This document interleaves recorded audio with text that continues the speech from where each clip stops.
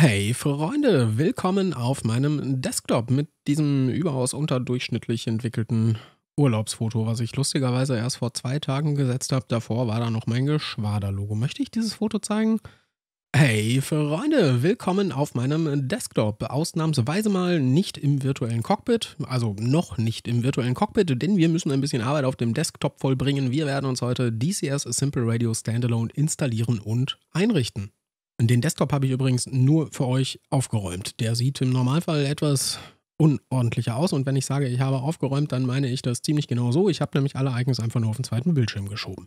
Wir klären aber erstmal die Frage, was ist eigentlich Simple Radio Standalone und brauche ich das überhaupt? Denn das sind so die zwei Fragen, die in letzter Zeit relativ häufig gestellt werden. Äh, Simple Radio Standalone, da können wir, können wir uns ja eigentlich schon mal zusammen angucken. Ne? Macht mal einen Browser eurer Wahl auf und navigiert mal zu. Ich habe das schon mal vorbereitet. dcssimpleradio.com. Eigentlich steckt schon total im Namen, was das ist. Es ist ein Radio, ein äh, Funkgerät. Und damit ist eigentlich auch implizit schon irgendwie so ein bisschen klar, ob man das braucht oder nicht. Wenn ihr ausschließlich im Singleplayer unterwegs seid und nur im Singleplayer fliegt, dann braucht ihr das nicht. Das gibt euch keinen Mehrwert und dementsprechend braucht ihr euch eigentlich auch das restliche Video gar nicht erst so wirklich angucken. Es war schön, euch ganz kurz zu sehen. Wir sehen uns beim nächsten Mal. Bis dann. Äh, fliegt ihr hingegen im Multiplayer, sei es im öffentlichen Multiplayer oder auch geschlossen in einer kleinen, in einer kleinen privaten Gruppe, dann ist die Chance relativ groß, dass ihr irgendwann mal Simple Radio nutzen möchtet.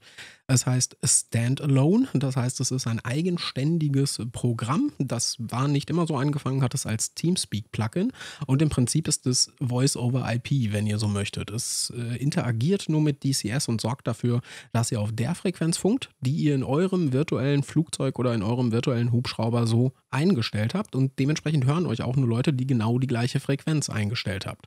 Es simuliert also Funk im Multiplayer. Wir installieren uns das heute, richten das zusammen ein, denn da gibt es so vielleicht den einen oder anderen Fallstrick und dann probieren wir das auch äh, sicherlich nochmal ganz kurz aus. Um das zu installieren, müssen wir es natürlich erstmal runterladen und oh Freude, oh Freude, der Download-Button ist direkt fett auf der Homepage. Wenn man da drauf drückt, landet man letztendlich bei GitHub. GitHub ist ein ein Dienst, um Quellcode für Programme öffentlich zu hosten. Simple Radio Standalone ist prinzipiell komplett Open Source. Das heißt, man kann den Quellcode von diesem Programm einsehen, runterladen und von mir aus könnte man sich das Programm auch selbst kompilieren und so weiter und so fort. Aber das wird jetzt viel zu technisch. Das wollen wir ja auch alles gar nicht. Wir möchten es ja runterladen. Allerdings ist GitHub da, wenn man da noch nie war und irgendwie nicht so IT-affin ist, dann ist es erstmal relativ unübersichtlich. Ich meine, hier sind ja schon super viele Links irgendwie drauf. Man wird aber prinzipiell durch den Knopf auf der Homepage, also durch den hier, wird man aber prinzipiell immer zum, äh, zur aktuellsten Version geleitet. Das ist jetzt hier bei mir gerade die 1.9.8.0. Bei euch kann hier durchaus eine andere, hoffentlich höhere Zahl stehen. Hier gibt es noch einen Link zum äh, Simple Radio Standalone Discord. Da auch gerne reinjoinen, wenn ihr irgendwie Support braucht. Ansonsten gibt es da sicherlich auch Support bei uns auf dem Community Discord. Und hier auch noch einen Link zu Series Patreon. Da kann ich auch nur empfehlen, das Projekt zu unterstützen, denn ich möchte ja das, also ich persönlich möchte, dass Simple Radio noch ein bisschen am Leben bleibt und wenn ich das dadurch möglich mache, cool. Wir möchten aber eigentlich gerade den Kram runterladen und da sieht erstmal nicht so aus, als wäre hier ein Link. Nee, das ist total versteckt, wenn man das nicht kennt. Man muss nämlich ganz nach unten scrollen. Hier steht noch jede Menge, dass man sich gerne durchlesen kann. Wir möchten aber unterm Strich den SRS Auto Updater Exe runterladen. Und wenn man nochmal nach oben scrollt, steht das hier sogar Download and Run SRS Auto Updater.exe. Oder wir könnten auch, wenn wir den, also wenn jemand von euch dem Auto Updater nicht vertraut, dann kann man sich auch diese ganze ZIP-Datei hier mit 75 MB runterladen. Und wenn ich die dann aufmache, dann finden wir da, ah, das geht auf dem zweiten Bildschirm auf, und wenn ich die dann aufmache, dann finden wir hier drin auch alle Dateien, die wir benötigen und müssen das jetzt entpacken und noch so ein paar Dinge machen. Das finde ich viel zu umständlich. Ich lade mir diesen Auto-Updater runter und sobald der fertig runtergeladen ist, äh, starte ich ihn einfach und ich weiß gar nicht, ob das jetzt mit aufgenommen wird, denn der Auto-Updater braucht prinzipiell Admin-Rechte. Ich drücke da jetzt mal drauf, mal gucken, was. Ja, OBS sehe ich gar nicht mehr. Ich weiß gar nicht, ob ihr das gerade sehen könnt. Cool. Auf jeden Fall fragt der Admin-Rechte an, die gebe ich ihm. Nee, ihr habt das nicht gesehen. Ihr habt jetzt gerade einen Hornet-Bildschirm gesehen, ne? wenn ich das im Augenwinkel noch richtig gesehen habe. Da müsst ihr auf jeden Fall in diesem Bildschirm einmal auf Ja drücken. Hier hingegen drückt ihr jetzt nicht auf Ja. Das fragt mich, äh, möchte ich die Release-Notes lesen? Naja, die habe ich ja hier gerade gelesen. Also nein, die möchte ich jetzt nicht lesen. Stattdessen geht jetzt automatisch der Installer gleich auf in den nächsten paar Sekunden. Da ist schon der Installer. Und Achtung, dieses Fenster bitte lesen. Do you want to make changes? Möchtest du Änderungen vornehmen? Ja oder nein? Ich möchte Änderungen vornehmen. Es kann sein, dass bei der ersten Installation dieses Fenster bei euch nicht kommt. Ich hatte halt Simple Radio schon öfter bei mir drauf. Also ich habe es gerade sogar schon in einer anderen Version drauf für, äh, für mein Geschwader. Ich drücke hier jetzt auf jeden Fall auf Ja. Sollte dieses Fenster bei euch kommen, bitte Ja drücken. Wenn das Fenster nicht kommt, machen wir direkt hier weiter. Im ersten Textfenster wählt ihr eure Installations- euren Installationspfad. Wo möchtet ihr das Programm hin installieren? Ich äh, habe es vorhin schon mal Test installiert, aber wieder runtergeschmissen. Deshalb hat er sich das gemerkt. Hier steht schon eine 2 dahinter. Denn in dem Pfad ohne die 2 ist mein richtiges Simple Radio, was allerdings schon vorkonfiguriert ist und so weiter und so fort. Aber da ich Videos immer doof finde, wo dann gesagt wird, so hier sind schon alle Einstellungen gesetzt. Nee, wir konfigurieren das gleich vollkommen zusammen. Deshalb installiere ich mir jetzt eine zweite Version davon. Und zwar hier. Installiert das Programm, wohin ihr möchtet. Ihr kennt eure Festplatten besser als ich und das ist auch verdammt gut so. Äh, Schritt 2. Und da müsst ihr den Ordner eures Saved Games Folders angeben. Im Normalfall findet der den automatisch. Wenn nicht, ist es, ja, ich heiße Basti, falls ihr es nicht wusstet, hallo. Im Normalfall findet der den automatisch. Falls nicht, müsst ihr hier diesen Pfad angeben mit eurem Windows-Benutzernamen. Ganz, ganz wichtig. Ihr könnt hier auch auf Locate drücken. Ich drücke da jetzt nicht drauf, weil ich nicht weiß, was für ein Ordner aufgeht. Und das ist hier halt mein privater PC. Da möchte ich unter Umständen nicht alles zeigen. Äh, Step 3 ist, wir drücken auf einen dieser beiden Knöpfe und suchen uns noch aus, ob wir einen Shortcut im Startmenü erstellen möchten. Ja, kann man mal machen. Und Remove, nein, ich möchte es nicht entfernen. Ich möchte es natürlich installieren. Also, wenn ihr hier beide Pfade gesetzt habt und der hier ist mit am wichtigsten, der muss stimmen, drückt ihr hier einfach einmal auf Install dann läuft der ein bisschen durch und erstellt alles und der, der, der, hakt sich halt auch ins gespeicherte Spieleverzeichnis ein. Wie ich eingangs gesagt habe, das Ding interagiert mit DCS. Das Ding muss auslesen, welche Frequenz ihr gerade in eurem Muster eingedreht habt, um das irgendwie ordentlich zu, ordentlich zu verteilen. Und dann sagt er hier Update Complete. Ja, ich habe drei DCS-Versionen drauf, unter anderem noch eine Closed Beta. Damit ist aber alles fertig. Einmal auf OK drücken und schon ist das Programm installiert. Jetzt geht ihr in euer Installationsverzeichnis, wo auch immer ihr das hin installiert habt. Das kann ich ja nicht wissen und ich navigiere da gerade mal in meinem zweiten Bildschirm hin. Und da findet ihr, kann ich euch das zeigen? Ja, ich glaube, ich glaube, das kann ich euch gefahrfrei zeigen. Und da findet ihr eine srclientradio.exe in genau diesem Verzeichnis. Die startet ihr einmal und ich glaube, die fragt auch wieder Adminrechte an. Kann also sein, dass ihr jetzt mal kurz wieder einen Hornet-Background seht. Wenn er denn starten möchte. Ah, geht doch. Hat nur ein bisschen länger gedauert. Ich glaube, ihr seht gerade einen Hornet-Background. Ich möchte gerade, ich möchte dem Ding gerade Adminrechte geben und drücke auf Ja. Da war es kurz auf und ist wieder zugegangen. Da ist es wieder. DCS SRS Client 1980. Das sieht doch super aus und jetzt müssen wir das Ding zurecht konfigurieren. Cool. Äh, Schritt Nummer eins, was wir hier tun möchten, ist selbstverständlich unser Mikrofon zu setzen und unser, naja, Headset oder Boxen oder worüber, worüber ihr auch immer das wiedergeben wollt. Mein Mikrofon ist dieses hier. Das können wir auch direkt mal hier einmal testen. Hier könnt ihr nämlich draufdrücken. Wenn ihr hier draufdrückt, hört ihr euch quasi selber, wenn denn das hier schon stimmt, also wenn die Ausgabe schon stimmt. Aber wenn man hier draufdrückt, dann kann man sich nämlich auch hier, auch hier, oh, ich höre mich mit Verzögerung doppelt. Hört ihr das auch? Nee, ihr hört das gar nicht. Oh Gott, ist das schlimm. Aber ihr habt gesehen, dieser, dieser Balken hier, der schlägt ein bisschen aus und daran kann man schon mal erkennen, ob das das richtige Mikrofon ist. Bei den Speakers, ja, wählt halt das, was, äh, das, was dem entspricht, worüber ihr auch immer hört. Bei mir wäre das äh, das hier. Die Spur nehme ich nämlich, glaube ich, auch mit auf. Ich glaube, die nehme ich mit auf. Wenn ich hier nochmal auf Audio Preview drücke. Ja, die Spur nehme ich mich mit auf. Jetzt hört ihr mich auch doppelt und das ist total unangenehm. Ich mache das mal ganz schnell wieder weg.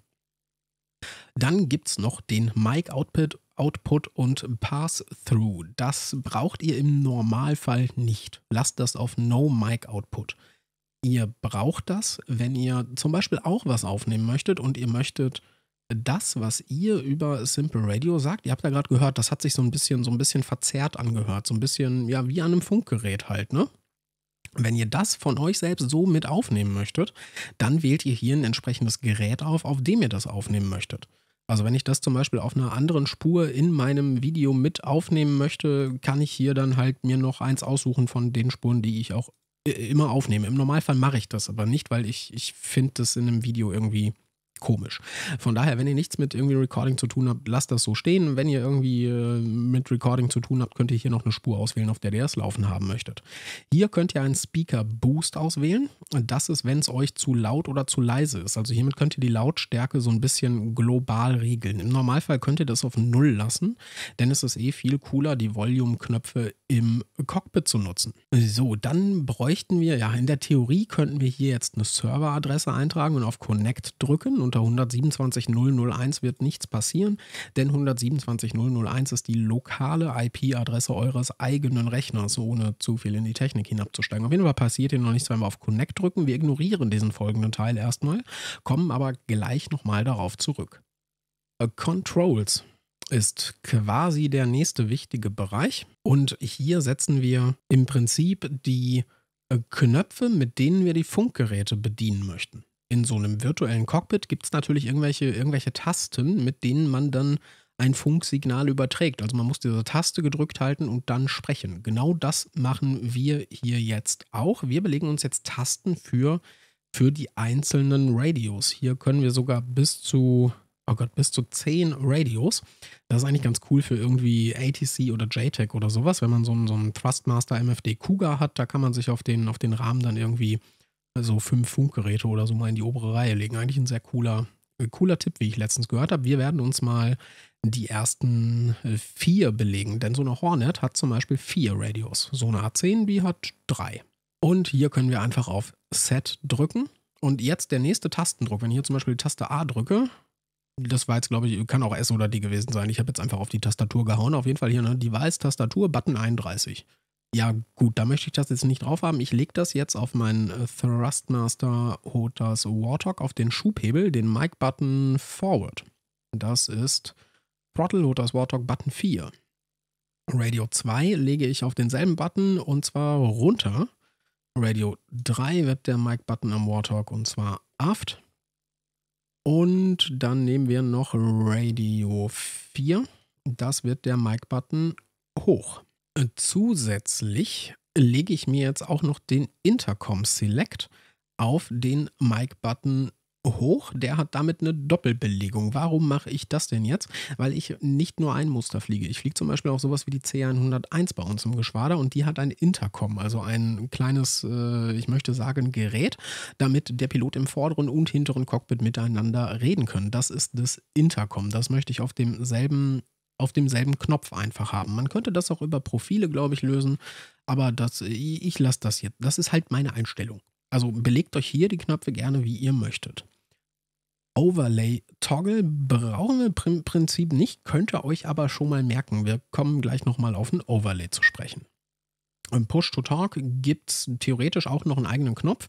Also das, das, was wir jetzt gemacht haben, das wählt eigentlich erstmal nur das Funkgerät aus. Also mit dem Knopf, den ich hier oben jetzt belegt habe, sage ich eigentlich nur, ich wähle Radio 1 aus. Theoretisch müsste ich mir noch einen Push-to-Talk belegen. Eine andere Taste, mit der ich dann wirklich spreche. Äh, das braucht man aber gar nicht, denn dazu gibt es eine Einstellung. Kommen wir zu den Einstellungen. Die Einstellungen, die ich meine, und ich muss hier jetzt auf dem zweiten Bildschirm mal kurz so ein bisschen spicken. Was habe ich hier eigentlich als Standard? Was habe ich hier eigentlich nicht als Standard? Ähm, die Einstellung, die ich meine mit dem Push-to-Talk, die verbirgt sich weiter unten. Da kommen wir gleich nochmal zu. Und wir flitzen jetzt hier mal so ein bisschen durch die, wichtig, durch die wichtigsten Einstellungen. Ihr seht, das sind eine ganze Menge. Äh, viele davon müssen wir jetzt auch nicht so im Detail durchsprechen. Da gibt es sicherlich irgendwo, irgendwo gibt es sicherlich ein Hilfedokument. Ne? Hier gibt es Help, schon mal grobe Hilfe. Irgendwo habe ich aber, glaube ich, auch mal fast ein volles, volles Manual gesehen. AutoConnect. AutoConnect ist eine schöne Einstellung, die aber auch auf dem Server aktiviert sein muss. Nicht jeder Server unterstützt das. Das sorgt dafür, wenn ihr auf einen Server joint, der diese AutoConnect-Option anhat, dann startet sich Simple Radio automatisch und verbindet sich auch automatisch dahin. Da müsst ihr nichts mehr tun. Das ist eigentlich echt cool. Dann habe ich, was habe ich denn? Ähm, die beiden könnten noch wichtig sein. Microphone Automatic Gain Control und Microphone Noise Suppression. Die habe ich bei mir prinzipiell aus, weil ich steuere alles, was mit meinem Mikrofon macht. Das möchte ich von Hand steuern. Ich möchte selber bestimmen, wie ich mich anhöre. Je nach eurem Setup kann das durchaus Sinn machen, wenn ihr die anlasst und Simple Radio so ein bisschen eingreifen lasst. Damit schließt ihr zum Beispiel mit dem ersten Automatic Gain Control, das ist so eine kleine Lautstärke-Regelung. Damit könnt ihr zum Beispiel ausschließen, dass ihr in Simple Radio zu laut oder zu leise seid. Der passt das dann automatisch so ein bisschen an. Und Noise Suppression, ja, wenn ihr irgendwie Hintergrundgeräusche habt oder sowas, dann werden die von Simple Radio unterdrückt. Aber das steuere ich alles manuell, weil ich hier sowieso ein etwas ausgefuchsteres Audio-Harte-Setup mittlerweile habe. So, was haben wir denn äh, noch für Einstellungen? Ja, sowas wie Play Connection Sounds oder Check for Beta Updates, das sind alles selbsterklärende kleine Einstellungen. Da müssen wir jetzt nicht im Detail drüber gucken.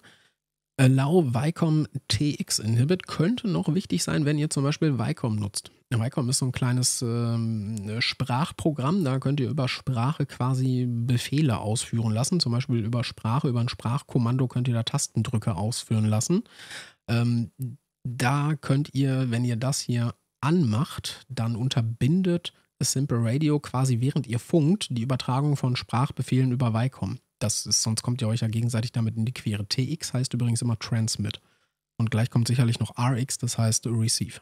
Der Rest ist relativ egal. Profile. Alles, was jetzt kommt, kann man in Profilen einstellen. Ihr könnt hier ein neues Profil anlegen und so weiter und so fort. Das macht euch bitte gerne so, wie ihr möchtet.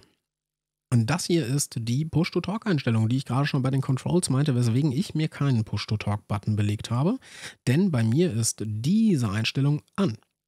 Radio Switch works, works as. Boah, Englisch heute. Radio Switch works as Push-to-Talk heißt so viel wie, wenn ich diesen Schalter hier betätige, ist das gleichzeitig auch Push-to-Talk. Also das selektiert nicht nur Radio 1, das ist auch direkt Push-to-Talk. Damit kann ich zum Beispiel, also damit ist quasi gelöst, in der A10, wenn ich den Mic-Switch nach vorne drücke, dann funke ich auf dem VHF. Das wird damit quasi gelöst. Auto Select First Channel Preset habe ich ehrlich gesagt keine Ahnung, was das macht, ist bei mir trotzdem an. Always allow simple radio hotkeys, das ist bei mir auch an. Und damit ist sichergestellt, wenn irgendeine andere Anwendung im Vordergrund ist und ich betätige meinen Radio äh, also die, die Schalter, die wir uns gerade belegt haben, dann transmittet der. Das ist quasi diese Einstellung. Wenn die nicht an ist und ihr habt irgendwas anderes aktiv, dann kann es sein, dass, das euer, dass euer Radio Switch nicht funktioniert. Always Allow Transponder Overlay Controls ist bei mir aus, weil ich die Transponder im Flugzeug selber steuere. Das ist für euch wahrscheinlich auch gar nicht so relevant. Ich weiß gar nicht, wie die Transponder im öffentlichen Multiplayer gehandhabt werden. Wir machen es bei uns im Geschwader, aber wir steuern das halt übers äh, Muster. Und Always äh, und Allow in Cockpit DCS Controlled Push to Talk ist auch an. Das ist vor allem, soweit ich weiß, für die äh, Trainer wichtig. Vor allem für die, für die Intercoms. Da musste ich das für die CN101 auf jeden Fall anmachen. Äh, hier könnt ihr noch, die Einstellung finde ich total geil. Hier könnt ihr noch ein Release-Delay und ein Start-Delay für Push-to-Talk einstellen. Und zwar nur für die Simple Radio Hotkeys, die ihr belegt habt. Das ist total geil, wenn euch irgendjemand mal sagt, so, boah, du, das Ende deiner Sätze am Funk, das ist immer mega abgehakt. Lass doch mal den Knopf nicht so früh los. Ja, entweder gewöhnt ihr euch um und lasst den Knopf halt selber nicht so früh los oder ihr sagt halt, der 500 Millisekunden später wird erst aufgehört zu funken, nachdem ich den Knopf losgelassen habe. 500 Millisekunden ist eine halbe Sekunde, das ist echt, das ist schon ziemlich lang, ne? Damit könnt ihr sowas zum Beispiel machen oder ihr könnt auch sagen, wenn ich anfange, den Knopf zu drücken, möchte ich erst eine halbe Sekunde später funken. Das heißt, ihr drückt den Knopf und erst eine halbe Sekunde später wird der Funk übertragen. Eigentlich ganz coole Einstellung. Äh, Radio Receive Effects und Transmit Effects, das sind diese, ja, ich möchte, ich möchte was sagen, das hört sich an, als wenn so ein Relais aufgeht. Das werden wir gleich, werden wir gleich nochmal hören. Das sind diese Knacken am Anfang und am Ende. Die sind bei mir auch standardmäßig an. Hier sind halt diverse Effekteinstellungen er spielt hier, er spielt hier gern ein bisschen, ja, ein bisschen mit rum. Denn da gibt es, glaube ich, auch gar nicht mehr so viel zu sagen. Und der nächste Part ist auch wieder ganz cool.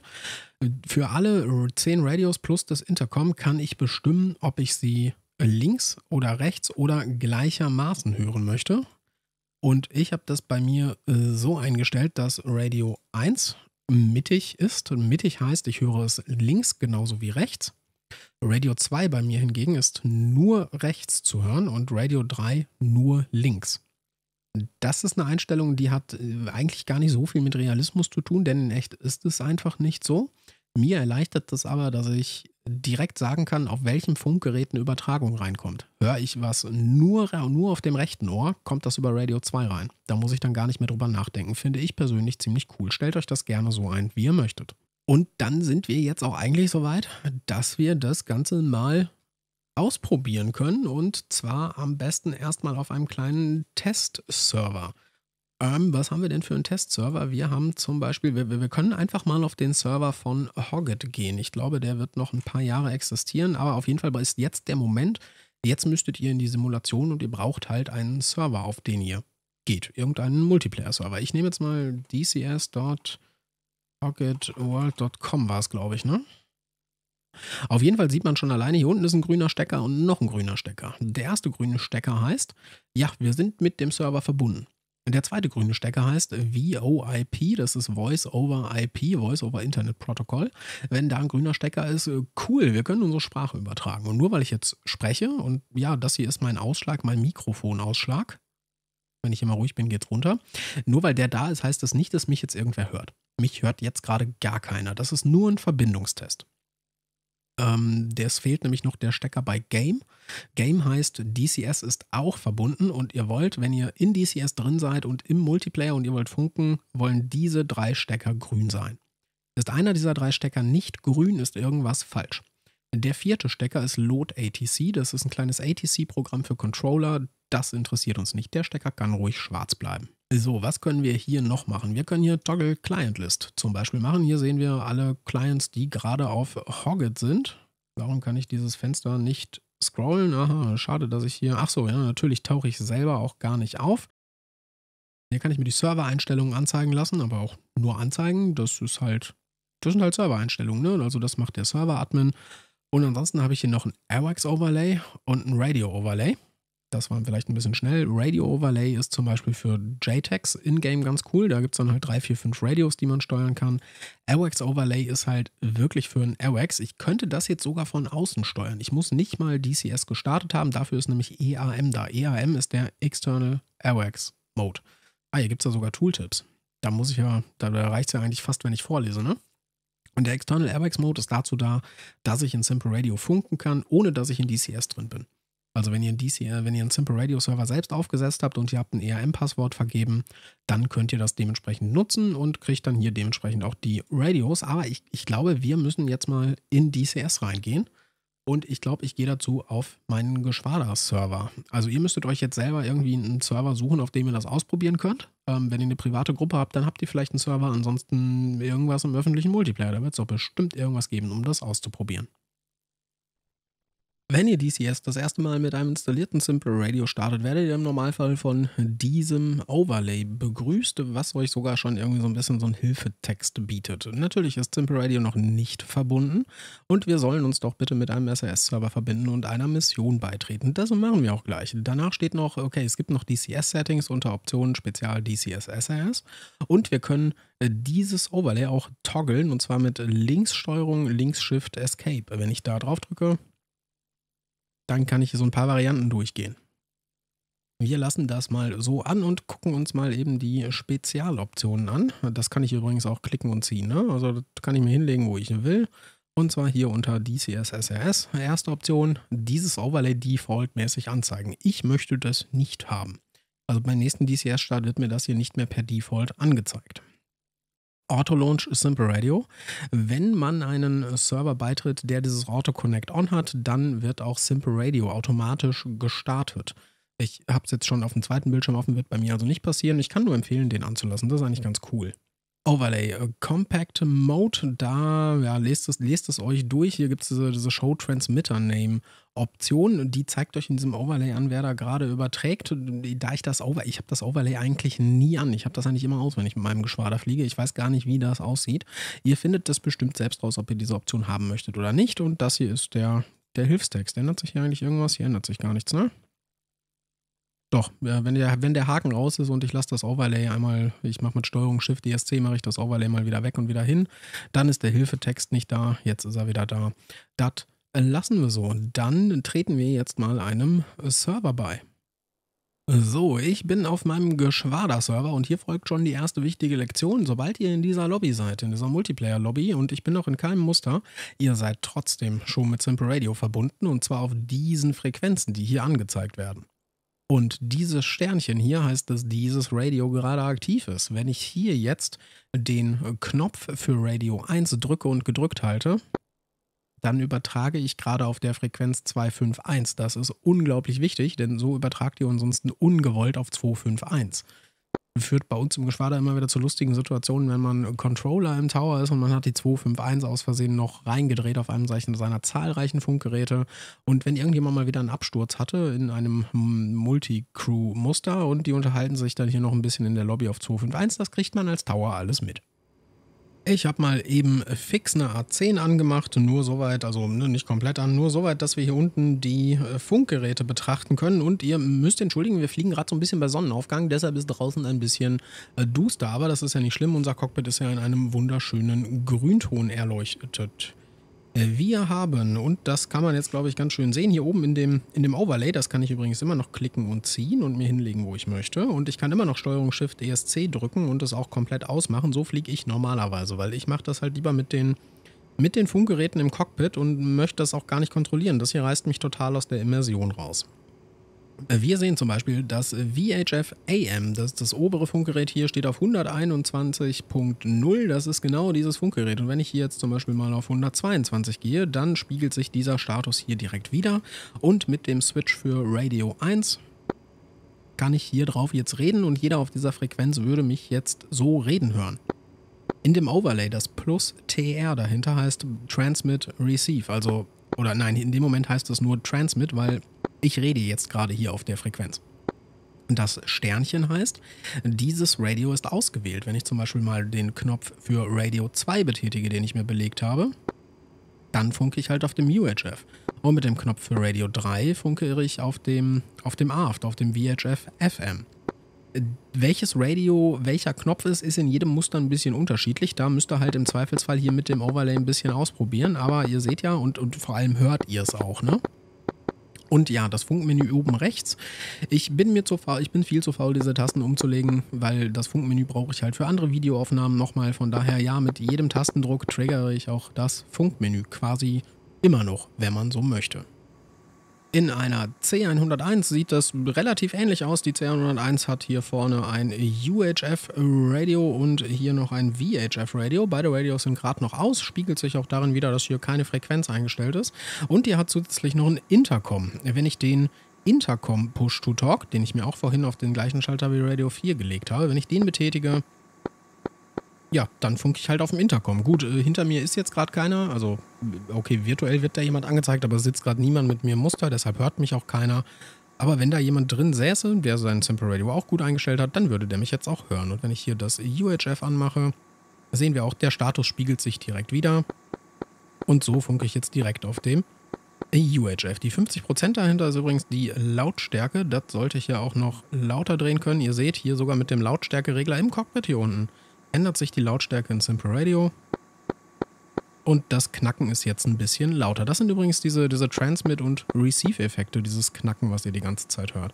Deshalb habe ich die unter anderem auch an, weil so kann man mal kurz testen, ob das Funkgerät funktioniert. Und auch in einer F18 funktioniert das Ganze wunderbar. Die hat zwei baugleiche Radios, zwei ANARC 210s. Das sind die beiden Radios hier. Und Oh, das ist ja lustig. Hier springt Guard Receive hin und her auf beide Radios gleichermaßen. Naja, wenn ich hier den Channel ändere, können wir auf jeden Fall auch sehen, wie es sich im Simple Radio Overlay ändert. Und wenn ich hier Guard Receive, kann ich hier gar nicht rausnehmen. Naja, ist ja auch nicht schlimm. Auf jeden Fall, wie ihr die Radios in den einzelnen Mustern bedient, das soll ja auch gar nicht der Teil heute äh, darstellen. Das wäre ja viel zu viel zum Erklären, aber auch wenn ich hier auf manuell stelle und hier zum Beispiel mal die 125 eingebe, dann stellt sich das Radio halt äh, da drauf und ich kann jetzt hier wie gewohnt quasi funken. Dann gibt es noch die Besonderheit des MITs. Das sind die zwei Data Link Radios. Und wie gesagt, wie ihr die einzelnen Radios bedient, ist eigentlich äh, gar nicht angesagt. Aber naja, die F18 ist mit eines der, eines der berühmtesten Muster. Dazu muss ein Data Link an sein. Ihr müsst Voice A auf irgendwas setzen, was nicht 127 ist. Und schon seid ihr hier auf Channel 16. Und das gleiche für Voice B. Also habt ihr hier einfach noch zwei weitere Funkgeräte und jetzt nicht erschrecken, es klingelt einmal das sind halt die MITS-Effekte von Simple Radio. Na, und dann gibt es ja noch den Fall, dass ich vielleicht gar nicht in einem Cockpit sitze. Vielleicht mache ich ja JTAG oder sonst irgendwas. Da zeigt mir jetzt SRS ja zumindest auch erstmal irgendwelche Funkgeräte an. Ich meine, hier oben ist irgendwie, ne, ich habe einen UHF, einen UHF, einen VHF, noch einen UHF und einen Intercom und ich sitze gerade mit Combined Arms in diesem M2A2 Bradley drin. Wie komme ich denn jetzt an die Funkgeräte? Naja, ganz einfach. Ihr müsst mit dem Simple Radio Client einmal auf den kleinen Knopf unten links drücken, Toggle Radio Overlay. Schon geht dieses kleine Overlay auf. Das könnt ihr euch auch hinschieben, wo ihr wollt. Im Normalfall bleibt das auch im Vordergrund. Ich glaube, die Einstellung dafür haben wir gesetzt. Und hier kann ich jetzt dementsprechend über diese Knöpfe hier unten meine, meine Frequenz ändern. Und wir sehen, das spiegelt sich hier auch direkt wieder. Und wenn ich meinen Push-to-Talk-Button für Radio 1 drücke, dann transmitte ich damit auch. Drücke ich meinen Push-to-Talk für Radio 2, springt es direkt auf das Radio hier. Kann man auch noch anders machen. Ich kann nämlich auf diese gelben Punkte drücken und das Radio selektieren und zum Beispiel nur den äh, Knopf drücken, den ich in den Settings als Push-to-Talk hinterlegt habe. Ja, das war er jetzt nicht, äh, hätte ich mir noch einen anderen Knopf belegen müssen, aber ihr versteht das Prinzip. Und wenn ich das Ganze als AirWax mache, wenn ich zum Beispiel in einem AirWax drin bin, das kann ich ja auch eigentlich hier mal eben machen. Hier müsste ja ein AirWax rumfliegen in der Mission. Da oben fliegt einer äh, rum, aber da kann ich mich gerade nicht reinsetzen. Ah, das ist aber gar nicht so schlimm. Wir haben noch den Knopf äh, Toggle Airwax Overlay in Simple Radio. Wenn ich da drauf drücke, oh, das ist jetzt ein bisschen klein. Oh, ah, da skaliert das Fenster größer. Ich dachte schon, das hätte man ja, das, das hätte ich ja kaum erkennen können. Da habe ich halt ein paar Funkgeräte mehr, von denen ich aber auch alle nutzen kann. Also als Airwax hat man echt ein, eine unglaubliche Menge an Funkgeräten. Das hier ist der Lautstärkeregler. Und hier könnte ich sogar noch Encryption setzen, wenn ich irgendwie das, das K58 zum Beispiel, KY58 zum Beispiel in einer F18C oder einer A10C setze. Also man kann eine ganze Menge machen. Aber ich glaube, wenn ihr sowas macht wie GCI oder JTAG oder ATC, dann habt ihr damit sicherlich eine, mit Sicherheit eine festere Gruppe, die euch da vielleicht auch noch unter die Arme greifen kann, was diesen Airwax-Mode angeht, denn ich denke, im Kern äh, sind wir damit heute durch, passend, wo gerade so schön die Sonne aufgeht und der, der Himmel so schön aussieht. Äh, schön mit euch noch romantisch zum Ende diesen, diesen Sonnenaufgang zu genießen. Äh, schick, dann will ich euch auch nicht länger aufhalten für heute. Ich äh, hoffe, ihr habt Spaß beim Zuschauen. Ich hoffe, ich konnte euch ein bisschen weiterhelfen mit Simple Radio. Und natürlich verbleibe ich, wie ich immer verbleibe. Wir sehen uns beim nächsten Mal. Bis dann.